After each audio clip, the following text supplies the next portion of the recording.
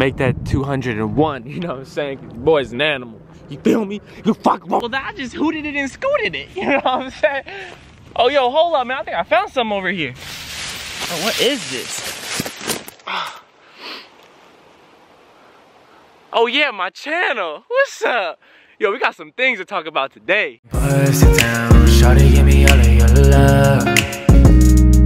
Let's hit the town, dream till we can't get. Music, something we all love. I mean, think about it. We all connect with music on a deep level, even before we knew language. I mean, if you cut on a slapper, a smooth track for a baby, that baby be in the corner bobbing and weaving. So how powerful is music really? So with this comes this whole talk with like frequencies and whatnot, but we're just, we're not gonna just dive into that for the sake of this video. But we are gonna talk about some thoughts that I've been having. Thoughts. And no, I'm not talking about that half naked girl on the side of the club shaking her ass. Not talking about those thoughts. I'm talking about these thoughts. So look, I'm gonna just get straight to the point. The deeper I get into music, the more I realize how powerful it is. And I mean truly powerful. I'm talking now, I've always been aware how powerful words are and music is, but it's like the more I do it, the more I get into it, the more I realize it's even more powerful than I thought it was.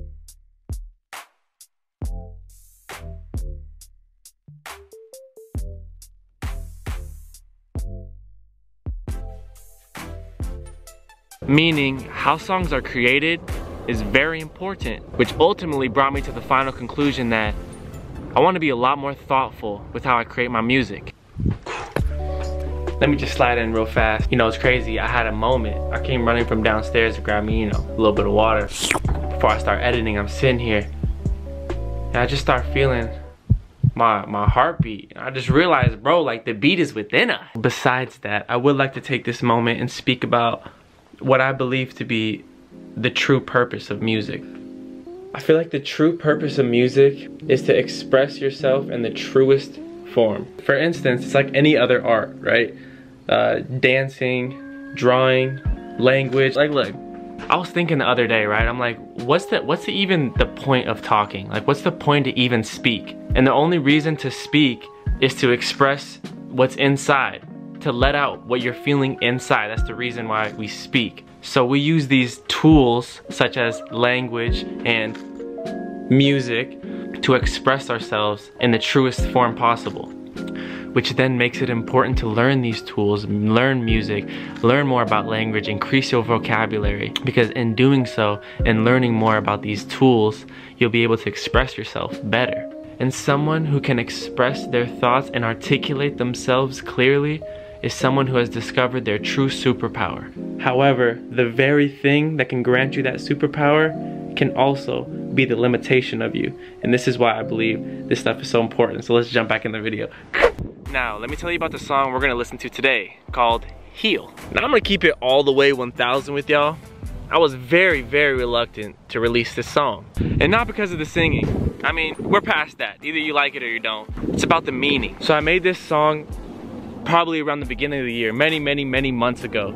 So you might see a little quality difference. But besides that, I made it during a time where a few members of our community committed suicide. Now, when I wrote this song, I wrote it in the perspective of that person going through that and their moments and the thoughts that they may be having at that time. Now, the difficulty I have with this one is usually my songs, whether you care or not, I like to bring it to a good mood. I like you to be saying or repeating words or even listening to words that's gonna affect you in a positive way, even if you don't care about it. So the thing is, even if I was to make a song that was about some tribulation, struggle, or something very low or down, I would want to end that song on a positive or a strong note, something powerful that you can leave with.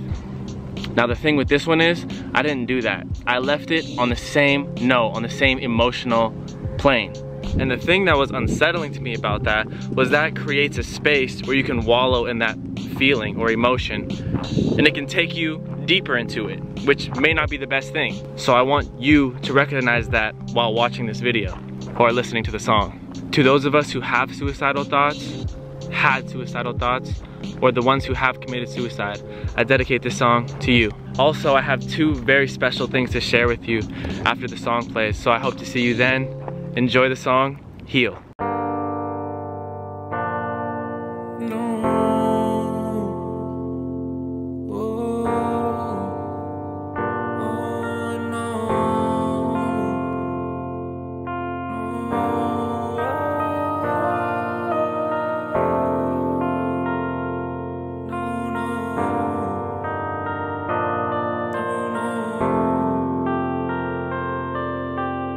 Oh,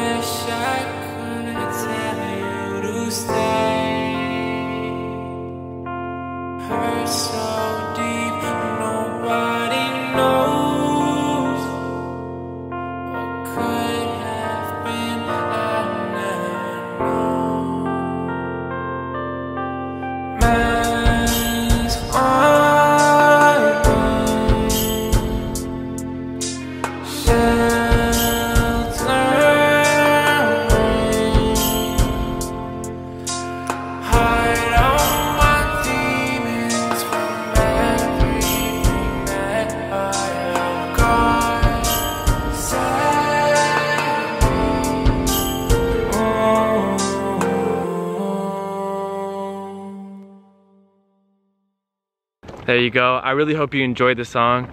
Now there's two things that I want to talk about. One, I want to put a new perspective on the word end. I feel like a lot of us, when we think of end, it almost saddens it almost saddens us. We think of our family members whose life came to an end. We think of that relationship that may have came to an end. We think about ending our own life. And that brings great grief, sadness over us. But I want to switch that word. I want to give a new definition for the word end.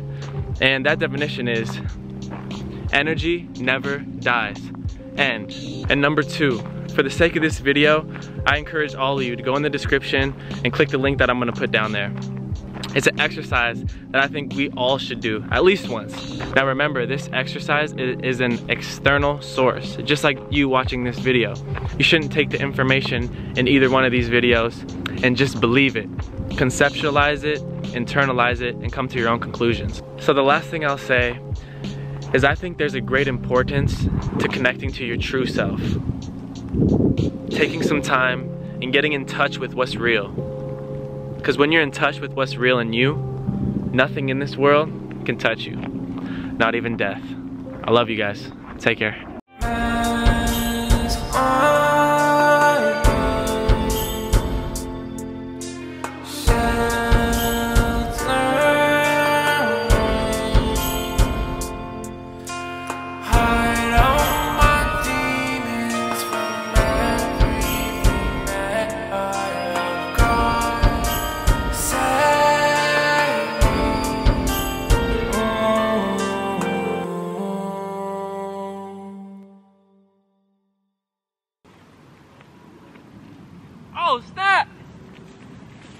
Hey, what y'all doing in there, man?